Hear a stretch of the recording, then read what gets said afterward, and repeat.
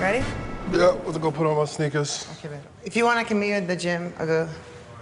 Check you guys out later. I want a full report on my desk by midnight. well, well, well.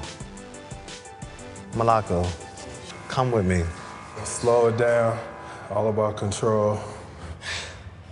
It's the lesson of the week, I guess. I was on the Goose phone in the barber shop and she was texting him. Oh, she's texting Agu? Can I see your phone, Nagu? Tell Emily get off your phone. You texting? Yeah. I slid it to go to the internet and then it popped up. Baby, what we gonna do when you get back? We gonna do workout or we, what we gonna do? And I was like, She trying to hook up. she thinks she's slicker than fish grease. Keep your hips straight.